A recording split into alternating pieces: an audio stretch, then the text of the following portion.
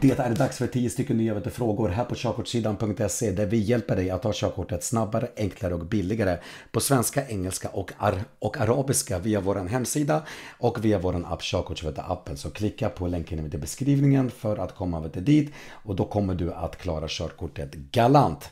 Men hörni, ska vi gå in och ta den första vet du, frågan på en gång?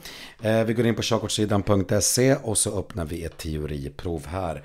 Och den första frågan lyder, vilket vägmärke betyder förbud mot trafik för fordon? 1, 2 eller 3?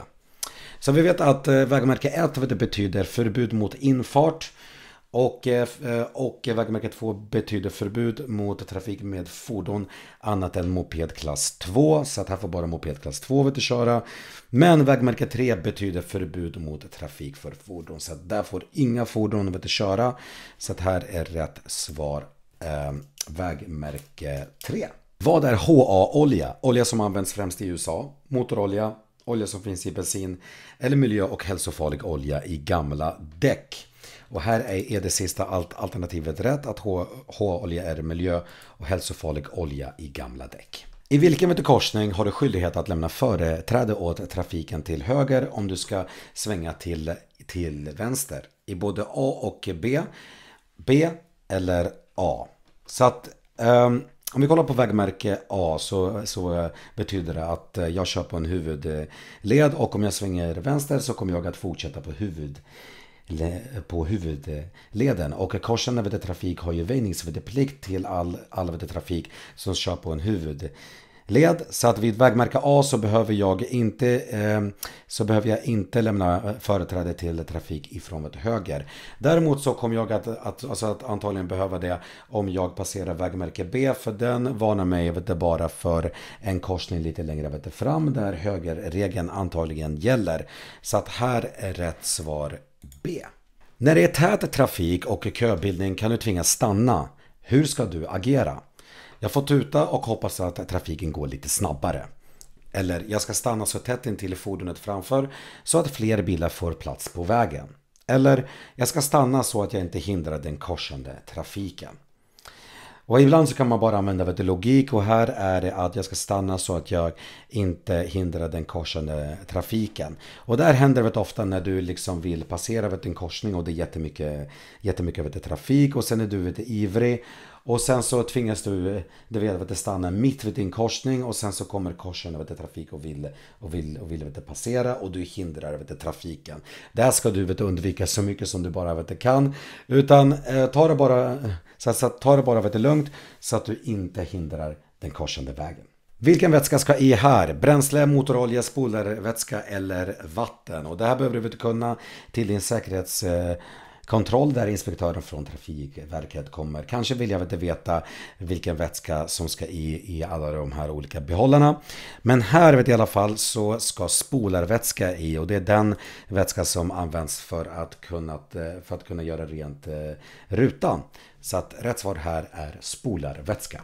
Du har vet du, parkerat bilen en helgfri vet du, måndag klockan 17 på en plats med vägmärket på bilden. När ska du senast ha flyttat ditt fordon? Tisdag 17.00, tisdag 24.00 eller fredag 24.00. Så här har vi det vägmärket betyder att 24 timmars regeln gäller och det betyder att du får vet, parkera i 24 vet, timmar måndag till fredag och på helger så får du faktiskt stå helt, helt vet, fritt. Och det här vet, gäller om det inte finns något tilläggsmärke under som begränsar den regeln och det finns ju eh, och det finns ju inte här. Så att här, här det betyder att du får stå i 24 vet, timmar. Så att du måste alltså flytta vet, bilen på tisdagen klockan 17.00. Du har lagt ut din bil på Blocket.se och sålt bilen en vecka senare. Till vem är du skyldig att meddela detta? Polisen inom 14 dagar efter ägarbytet, Transportstyrelsen inom 10 dagar efter ägarbytet eller Trafikverket inom 10 dagar efter ägarbytet.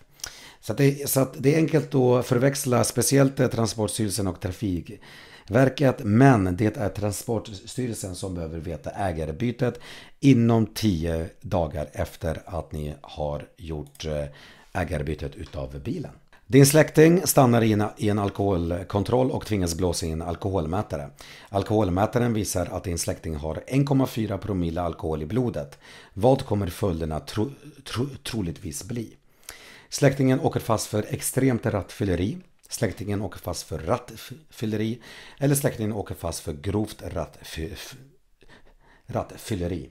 Här behöver du veta gränserna för rattfylleri och grovt rattfylleri. Gränsen för bara rattfylla är 0,2 promille och gränsen för grov rattfylla är 1 promille. Så att släktingen här kommer med andra ord åka fast för grovt rattfylleri. Vad betyder vägmärket? Att stanna är endast OK om situationen i trafiken kräver det. Att stanna är OK om jag är kvar i bilen. Eller att stanna eh, för av och påstigning är OK. Det här vägmärket betyder att det är, att det är förbjudet att stanna och, och, och, och, och parkera. Men självklart, om du tvingas till att, eh, till, till att stanna, säg att det är en trafikolycka eller någonting vet, annat som verkligen tvingar dig att stanna, då får du vet, det om, om situationen kräver det. Okej? Okay? I annat vet, fall så är det faktiskt förbjudet att vet, stanna när du ser det här vägmärket. När måste man ge blinkers i samband med att man ska köra in i en cirkulationsplats? Vid utfart, vid infart och utfart eller vid infart?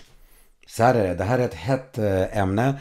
Det finns en skillnad på vad man kan vet du, göra och vad lagen vet du, säger. För att vad lagen vet du, säger det är att du måste bara ge blinkers vid utfart. Alltså när du kör ut ur eh, eh, cirkulationen. Det är då du ska blinka till, blinka till, till höger en, alltså en stund vet innan. Så att bakomvarande fordon vet när du ska köra ut ur cirkulationen. Med det vet sagt så är det helt vet du, OK att ge vet du, blinkers innan cirkulationen också. Till exempel att du, sväng, eh, eller att du blinkar till vänster om du ska svänga vänster i cirkulationen. Men lagen kräver inte det utan den kräver bara att du måste blinka ut ur cirkulationen. Så att med andra ord så är rätt svar här vid utfart. Nu tycker jag att du ska trycka på den här spellistan så att du kan se alla över 100 avsnitt utav 10 stycken körkortsfrågor så att körkortsfrågorna verkligen sitter och du klarar det där teoriprovet. Hörrni, nu vill jag bara att ni kör försiktigt och håller avståndet så syns vi i nästa video.